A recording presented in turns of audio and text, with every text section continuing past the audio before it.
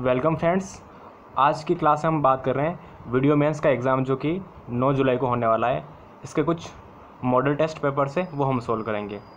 और ये जो आज हम मॉडल पेपर सोल्व कर रहे हैं, ये देवी दृष्टि कोचिंग सेंटर है, उसका मॉडल पेपर है और काफ़ी अच्छा मॉडल पेपर है। टोटल इसमें 160 क्वेश्चन है और जैसा कि हमारे मेन एग्ज़ाम में आएगा सेम उसी टाइप का पेपर का पैटर्न नहीं है तो हो सकता है इसमें से कुछ क्वेश्चन आ जाए या इस तरह के क्वेश्चन आ जाए, इसलिए हम इसको सोल्व कर रहे हैं। ठीक है? चलो देखते हैं, पहला क्वेश्चन किस शब्द का संधि विच्छेद सही नहीं है? हिंदी है, पहले हिंदी दे रखी है, और पूछ रखा है किसका संधि विच्छेद सही नहीं है। तो पहला क्वेश्चन है अपने पास. पहला ऑप्शन है महात्म, महामात्म, है ना? तो महाधन, आमात्य. दूसरा ऑप्शन है भयाक्रांत का भय, धन आक्रांत. तीसरा है स्नेहाविष्ट, स्नेह, धन, आविष्ट. और चौथा है कंटका केंद्र का है कंटक, धन आकेंद्र तो देखो, जो पहला ऑप्शन दे रखा ना आपके ये सही नहीं है। और सही क्यों नहीं है? क्योंकि महामात्म्य, महात्म्य का मतलब क्या होता है? महाधन अमात्य में नहीं हो के अमात्य होता है। ठीक है ना? इसने क्या दे रखा है? अमात्य दे रखा है। ये नहीं हो के अमात्य होगा। इसलिए अपना पहला ऑप्शन सही है पहले क्वेश्चन का। अगला है अपने पास क्वेश्चन नंबर सेकेंड निम्न में से किसका संधि विच्छेद, सही संधि विच्छेद का उदाहरण है? ठीक है? दूसरा क्वेश्चन देखना है हमें। तो पहला है अनु धन छिन्न अनुछिन्न फिर सेकेंड ऑप्शन है चतुर्धन श्लोकी चतुश्लोकी तीसरा है तथाधन एव, तथेव, और चौथा है, स्वधन इरिणी तो बन गया है स्वेरिणी तो चौथा ऑप्शन सही है अपना। दूसरे का चौथा है। ठीक है? अगला है क्वेश्चन नंबर थर्ड किस विकल्प में सभी शब्द अपदान तत्पुरुष समास के हैं? दो दो के कॉम्बिनेशन दे रखे हैं, और आपको देखना है सभी शब्द अपादान तत्पुरुष के कैसे हैं। अपादान मतलब से अलग होना, है ना? जब हम कारक चिन्ह देखते तो अपादान में आता है से अलग होना। तो अलग होने के संबंध में कौन सा समास कौन सा शब्द है, वो हमें देखना है। पहला है अमचूर और दयाद्र। ठीक है तो इसमें देखो अमचूर नहीं आ रहा है ना? और दूसरा क्वेश्चन है देश निकाला मतलब देश से निकालना मतलब देश से अलग जा रहा है। और दूसरा ऑप्शन इसमें दे रखा है पदच्युत मतलब पद से हटाना, पदच्युत। तो इसमें जो बी ऑप्शन है, वो अपना सही है तत्व क्योंकि दोनों में से अलग वाला कॉन्सेप्ट लग रहा है अपना, इसलिए। ठीक है, ये ध्यान रखना है। अगला क्वेश्चन है अपने पास। क्वेश्चन नंबर फोर मुखारविंद शब्द में कौन सा समास है? ठीक है? मुखारविंद शब्द में कौन सा समास है वो देखना है? पहला अविभाव दूसरा तत्पुरुष, तीसरा कर्मधारय और चौथा है बहुव्रीही। तो मुखारविंद में कौन सा आता है? कर्मधारय समास आता है। ठीक है? याद रखना मुखारविंद में कौन सा है? मुखार में आएगा कर्मधारय समास अपने। अगला क्वेश्चन है अपने पास क्वेश्चन नंबर पाँच। किस शब्द में सबसे कम उपसर्ग प्रयुक्त हुए हैं? सबसे कम उपसर्ग कहाँ प्रयुक्त हुए हैं वो बताना है। पहला है अभ्यागत, अभिधन आगत मतलब अभ्यागत होता है। ठीक है? अभी और आ, दो उपसर्ग आ रहे हैं इसमें। फिर दूसरा है अव्यवस्थित और तीसरा है अवलोकन और चौथा है प्रत्युत्पकार। देखो, पहला ऑप्शन दूसरा ऑप्शन और चौथा ऑप्शन इन सब में दो दो उपसर्ग काम में आए हुए हैं। लेकिन जो अवलोकन है उसमें अवधन लोकन, यानी एक ही उपसर्ग है। तो अपना क्वेश्चन का ऑप्शन से हो गया सी अगला क्वेश्चन है अपने पास छठा। प्रोन्नति शब्द में उपसर्ग कौन सा है? प्र, प्रह, प्रो या प्रन तो प्रोन्नति शब्द में जो उपसर्ग है वो है प्र। प्रधन उन्नति मतलब प्रोन्नति होता है। ठीक है? अगला है अपने पास क्वेश्चन नंबर सेवन किस शब्द में गार प्रत्यय का प्रयोग नहीं हुआ है? ठीक है? किसमें गार नहीं हुआ है? वो देखना है हमें। क्वेश्चन नंबर सेवन्थ देख रहे हैं पहला है स्नानागार, दूसरा है यादगार, तीसरा है मददगार और तीसरा है रोज़गार। तो ऑप्शन नंबर जो अपने पहला दे रखा है, स्नानागार, उसमें क्या होता है? स्नान धन आगार, है ना? न कि गार है। तो आगार है तो अपना यही ऑप्शन सही हो गया। अगला क्वेश्चन है क्वेश्चन नंबर एट के शब्द में उपसर्ग एवं प्रत्यय दोनों का प्रयोग हुआ है? ठीक है? वो देखना है हमें। पहला है अधुनातन अधुनातन आतन, फिर है दूसरा अस्तित्व, तीसरा आग्नेय, और चौथा है निष्कासित। तो सही ऑप्शन होगा अपने निष्कासित। ठीक है? नी उपसर्ग और प्रत्यय है इत। ठीक है? इसी तरह से अपने अगला क्वेश्चन आता है question number nine question number nine देखते हैं. क्वेश्चन नंबर नाइन्थ में क्या पूछ रहा है ये? किस विकल्प में सही मेल नहीं है? ठीक है? यहाँ पे कुछ शब्द दे रखे हैं और उनके अर्थ दे रखे हैं और किसमें नहीं मिला रखा है वो देखना है। पहला है मेध। यानी चर्बी और मेद यानी हवन। दूसरा है चीर यानी हमेशा और चीर यानी वस्त्र। तो दूसरा तो सही है। तीसरा है करी। करी यानी हाथ और कीर यानी तोता। ये भी सही है। अगला आ रहा है मात्र मतलब केवल और मातृ मतलब माता। ये भी सही है। तो पहला ऑप्शन अपना सही नहीं है। या मेद में चर्बी दे रखा है। देखो, मेद का मतलब मे, ध यानी हवन होता है और मे, द यानी चर्बी होता है। तो इसमें उल्टा मिला रखा है इन्होंने। तो नब्बे का ऑप्शन पहला सही है अपने। ठीक है? क्वेश्चन दस, इनमें से किस शब्द युग का अर्थ अलग है? वो देखना आपने पहला दूत और द्यूत। दूत का मतलब होता है संदेशवाहक और द्यूत का मतलब है जुए का खेल। ये सही बात है। पहला मेला रखा है, सही इन्होंने। और चौथा है अगला ऑप्शन है मेल मतलब मिलन और माइल, यानी गंदगी। ये भी सही है। फिर आता है शौक। शौक यानी खेद और शौक यानी रुचि। ठीक है? ये भी सही है। और अगला है श्रवण। श्रवण मतलब सुनना होता है और श्रवण मतलब कान होता है। ये अलग मिला रखा है। ये बेमेल है, ठीक है? गलत कौन सा है अपने? Option D. ठीक है? अगला क्वेश्चन है अपने, नेपथ्य का मतलब क्या होता है? वो बताना है। रंगमंच के पर्दे के पीछे का स्थान या रंगमंच रंगमंच के पर्दे रंगमंच के पीछे का स्थान है। सी है रंगमंच पर नाटक खेल, खेलन का स्थान और डी है रंगमंच के आगे का पर्दा। तो सही ऑप्शन है अपने रंगमंच के जो पीछे का पर्दा होता है ना, उसको हम नेपथ्य बोलते हैं। तो ऑप्शन बी सही है अपने। ठीक है? अगला आता है क्वेश्चन नंबर बारह। क्या कहता है क्वेश्चन नंबर बारह? देखो, वाक्यांश के लिए एक शब्द के संदर्भ में असंगत कौन सा है? असंगत मतलब गलत ऑप्शन देखना है हमें। पहला, जिससे क्रय किया गया हो, उसे हम कृत कहते हैं। तो सही बात है ये। दूसरा है, जिसका हाथ बहुत तेज चलता हो, उसको बोलते हैं क्षिप्र हस्त ये भी सही है। तीसरा है, जो कृत्रिम वेश धारण कर लेता है, उसे छदमी कहते हैं। ये भी सही है। और चौथा ऑप्शन है, सुंदर और लंबे बालों वाली स्त्री को विकेशनी कहते हैं। नहीं, ये गलत है। ठीक है? तो चौथा ऑप्शन अपना सही है। अगला, किस वाक्यांश के लिए सही शब्द लिखा गया है? पहला, ईश्वर पर विश्वास करने वाला नास्तिक? नहीं, आस्तिक होता है। ठीक है, हमें सही देखना है। कलम की कमाई खाने वाला मसीजीवी नहीं, ये भी गलत है। अगला है, जिसका यौवन शत नहीं हुआ हो, उसको शत यौवन कहेंगे क्या? नहीं, अक्षत यौवन कहेंगे उसको, ठीक है? अगला, जिसको पूर्व जन्म की बातें याद है, उसको जाति स्मर कहते हैं, बिल्कुल सही। जिसको पूर्व जन्म की बातें याद है, वो जाति स्मर कहलाता है। तेरहवें क्वेश्चन का डी ऑप्शन सही है। अगला है, क्वेश्चन नंबर फोर्टीन, यानी चौदह, इसमें असुमेलित विलोम शब्द देखना है। कौन सा गलत विलोम शब्द है वो? पहला है कलुषित, निष्कलुषित, सही है ये। दूसरा है ऊर्ध्वमुख और अवांगमुख, ये भी सही है। अगला है क्रश और स्थूल, ये भी सही है। और डी ऑप्शन है प्रदोष और गोधुली, ये गलत है। ठीक है? और यही हमें देखना था। चलो, आगे देखते हैं क्वेश्चन नंबर पंद्रह। क्वेश्चन नंबर पंद्रह क्या कहता है? किस विकल्प में विलोम उचित नहीं है।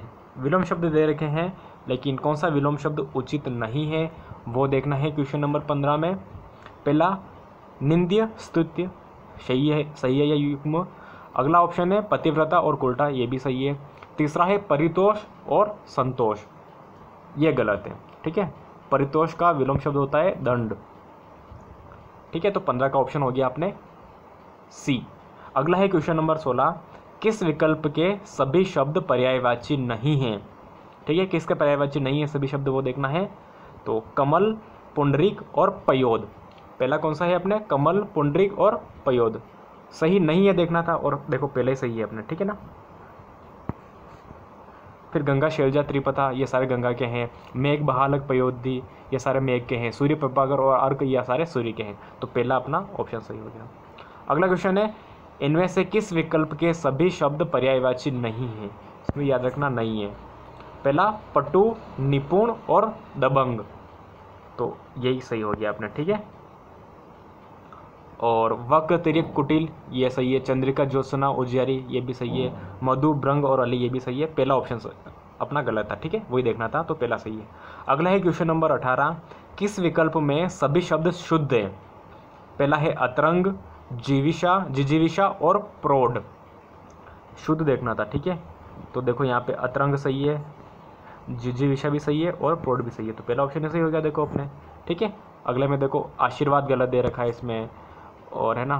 फिर सौजन्यता भी गलत दे रखा है, इसमें अंतर्राष्ट्रीय गलत दे रखा है, ठीक है? तो पहला ऑप्शन सही हो गया। तो क्वेश्चन नंबर अठारह का ऑप्शन ए सही है। अगला है क्वेश्चन नंबर उन्नीस क्या कहता है, उन्नीस? शुद्ध वाक्य छाटिए इसमें से। आपको कुछ चार वाक्य दे रखे हैं, बताओ, शुद्ध कौन सा है? पहला, राम को अनुतीर्ण होने की आशंका है। तो पहले ही सही हो गया अपने तो ठीक है? आगे देख लेते हैं, राम को अनुतीर्ण होने का शक। देखो, शक नहीं होता है, आशंका होती है। तो इसलिए गलत हो गया। अगला है, जंगल में प्रातःकाल के समय बहुत सुहावना दृश्य होता है। देखो, प्रातःकाल यूज़ कर लिया तो समय नहीं देखना था हमें, है ना? तो क्वेश्चन ये सही कैसे होता? जंगल में प्रातःकाल जंगल में प्रातःकाल का समय बहुत सुहावना दृश्य होता है। ठीक है, ये गलत है अपना। और अगला है, मेरे से मत पूछो नहीं, मुझे मत पूछो ये होता है। तो उन्नीसवें का पहला ऑप्शन सही है अपना। अगला क्वेश्चन है, निन्यानवे के फेयर में पढ़ना मुहावरे का सही अर्थ कौन सा है? ठीक है, परिवार के झंझटों में फंसे रहना है दूसरा, धन जोड़ने में लगे रहना, तीसरा, मूर्खता के कार्य कर बैठना, और डी है, किसी के चक्कर में पड़ जाना। तो याद रखना निन्यानवे के फेयर में पढ़ना मतलब धन जोड़ते रह जाना। बी ऑप्शन सही है अपना, ठीक है? अगला है क्वेश्चन नंबर क्वेश्चन नंबर बीस पे आते हैं हम। बीस हो गया, क्वेश्चन नंबर इक्कीस पे आते हैं, ठीक है? क्या कहता है इक्कीस इक्कीसवा क्वेश्चन? लोकोक्ति व मुहावरे में सही अंतर क्या है? ठीक है? लोकोक्ति और मुहावरे में ये सही अंतर पूछ रहा है। तो देखो, लोकोक्ति और मुहावरा दोनों ही पूर्ण वाक्य होते हैं। नहीं, पूर्ण वाक्य नहीं होते लोकोक्ति पूर्ण वाक्य होता है सही है और मुहावरा वाक्यांश मात्र होता है। सही बात है ये। तो पहला ऑप्शन अपने क्वेश्चन का ऑप्शन कौन सा हो गया? बी वाला सही हो गया। ठीक है? अगला है क्वेश्चन नंबर बाईस। प्रभुता पाही काही मद नाही। लोकोक्ति का सही अर्थ क्या है? प्रभुता पाई काई मद नाही। इस लोकोक्ति का सही अर्थ बताना है। पहला है, उच्च स्वप्न देखना, उच्च सपने देखना। सेकंड ऑप्शन है, मन की इच्छा पूरी करना। तीसरा है, उच्च पद प्राप्त करके किससे? घमंड नहीं होता। और डी है घमंडी हो जाना। ठीक है? तो देखो, इस लोकोक्ति से ही पता चल रहा है, प्रभुता पाही काही मत नहीं। यानी उसने ऊँचा पद तो पा लिया, लेकिन उसे किसी बात का मद यानी घमंड नहीं है। तो तीसरा ऑप्शन सी सही है अपना। ठीक है? अगला है क्वेश्चन नंबर तेईस। सुपर एनुशन का मतलब क्या है? इंग्लिश शब्द, इंग्लिश मीनिंग दे रखा मीनिंग दे रखा है, इसका हिंदी में अर्थ बताना है। Superannuation. ठीक है? तो पहला है अर्धवार्षिकी, दूसरा है सेवानिवृत्ति, तीसरा है बर्खास्त और चौथा है सेवावती तो सुपर एनुशन का मतलब होता है सेवानिवृत्ति। ठीक है, जिसको हम रिटायरमेंट बोलते हैं ना, उसको सुपर एनुशन भी कहते हैं। ठीक है, अगला है अपने पास क्वेश्चन नंबर तेईस हो गया, चौबीस। क्वेश्चन नंबर चौबीस से अपरिहार्य का अंग्रेज़ी में पर्याय क्या है? अपरिहार्य को हम क्या बोलते हैं? तो पहला है नेसेसिटी इसका तो मतलब होता है अनिवार्यता, ये नहीं होगा। जस्टिफाइड ये भी नहीं है। अर्जेंट अति आवश्यक और अनअवॉइडेबल तो अपना सही कौन सा है? अनअवॉइडेबल मतलब अपरिहार्य। चौबीसवें क्वेश्चन का डी आंसर सही है। ठीक है? तो इस तरह से अपने ये चौबीस क्वेश्चन आएँगे हिंदी के, जो हमने सोल्व कर लिए हैं। अब क्वेश्चन सोल्व करते हैं हम इंग्लिश के। इंग्लिश के वीडियो मेन में आएँगे टोटल सोलह क्वेश्चन ठीक है? क्वेश्चन नंबर पच्चीस देखते हैं। इसमें देखो आपको वर्ड और उसके सिनोनिम्स दे रखे हैं, जो आपको मैच करवाने हैं। ठीक है, पच्चीसवें क्वेश्चन में। देखो, पहला है पिटिशन पिटिशन का मतलब होता है अपील तो पहले में दूसरा मिलाना है। दूसरा है, दूसरे का देखो तीसरा मिलेगा इरेशनल होता है। ठीक है, और तीसरा है मेंटर मेंटर मतलब होता है गाइड और गार्निश का मतलब होता है एडोर्न तो अपना ऑप्शन कौन सा हो गया? पहले में दूसरा और दूसरे में तीसरा, यानी डी ऑप्शन सही हो गया। ठीक है? इस तरह से क्वेश्चन होगा ये। अगला है अपने पास क्वेश्चन नंबर छब्बीस। देखो क्वेश्चन नंबर छब्बीस क्या कहता है? आपको करेक्ट एंटोनिम्स देखना है। ठीक है? इवेंसेंट का एंटोनिम्स क्या होगा? इवेंसेंट का एंटोनिम्स यानी विलोम शब्द देखना है। इमिनेंट, परमानेंट, परेसिव और सिनफुल। तो इन्वेसेंट का मतलब होता है मतलब जो बहुत जल्दी टूट जाए या जो अस्थाई है उसको बोलते हैं, ठीक है? तो इसका अपोजिट क्या हो जाएगा? परमानेंट यानी जो स्थायी है, ठीक है? तो ये छब्बीसवें क्वेश्चन का आंसर है। अगला है अपने पास क्वेश्चन नंबर सत्ताईस। Choose the correct option of the given item देखो आइटम दे रखा है आइटम्स दे रखी हैं, इसका करेक्ट मीनिंग देखना है। In high spirit high spirit का मतलब क्या होता है वो देखना है? Full of of and enthusiasm देखो तो यही होता है ना full of of and enthusiasm का मतलब क्या होता है? इन हाई स्प्रिट पहले ही सही हो गया आपने। अगला है क्वेश्चन अट्ठाईस। He अजेम्ड his wealth through sharp practice sharp practice ठीक है, इसका मतलब देखना है हमें क्वेश्चन नंबर अट्ठाईस का। तो शार्प प्रैक्टिस मतलब डिसऑनेस्ट ठीक है? अट्ठाईस का ये सही है। अगला है क्वेश्चन नंबर उनतीस। इसमें फिलिंग द ब्लैंक्स वाला क्वेश्चन है। द ट्रेन पुल्ड फिर ब्लैंक आ गया। द स्टेशन एंड मूड फिर ब्लैंक द ट्रैक्स ठीक है? तो दोनों ब्लैंक में क्या आएगा? आपको फिल करना है। तो पहले वाले ब्लैंक में आएगा अपने the train pulled out of the station and moved along the tracks तो ऑप्शन कौन सा हो गया अपने? बी हो गया, ठीक है? अगला है क्वेश्चन नंबर तीस. As I was passing as I was passing के बाद में क्या आएगा देखो? बाई एक्रॉस थ्रू या ओवर एक्रॉस आएगा। ठीक है? सॉरी एक्रॉस नहीं आएगा। As I was passing by house है ना? I saw a man standing at the gate है ना? दरवाजे पे आदमी खड़ा था। तो तीसरे का ऑप्शन हो गया आपने पहला। अगला है क्वेश्चन नंबर इकतीस थर्टी वन इसमें आपको देखना है करेक्ट नरेशन देखना है। He said to interviewer could you please repeat the question इसको चेंज करो। नरेशन चेंज करना है, इसका हमें। He requested to interviewer if he could please repeat the question नहीं, ये नहीं होगा।